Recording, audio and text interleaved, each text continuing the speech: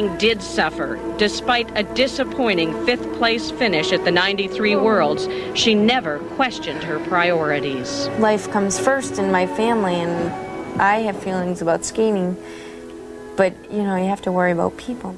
And she means it. Nancy Kerrigan is an athlete who feels compelled to give back. Her biggest project, helping the Lions Club crusade against blindness.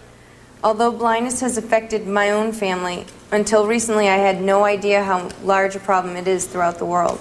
Brenda, tell me about the uh, Lions Club gathering in Minneapolis. What was that like for you? Just amazing to see all these people, and you know they're dealing with blind people, and they had her there, and, and she spoke. Did a great job too.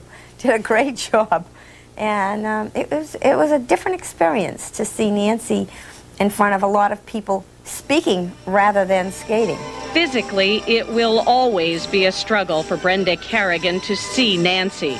Emotionally, however, the vision she has of her daughter is no different from any other mothers. Everybody's done the stories of you watching, you know, on the on the monitor when she's performing and stuff, but when when it's over, when the performance is over and you hear the crowd, what what is that like for you?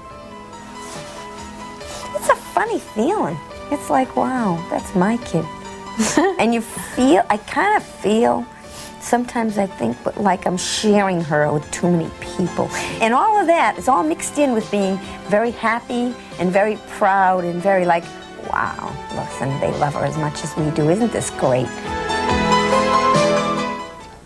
And what an image that was last night.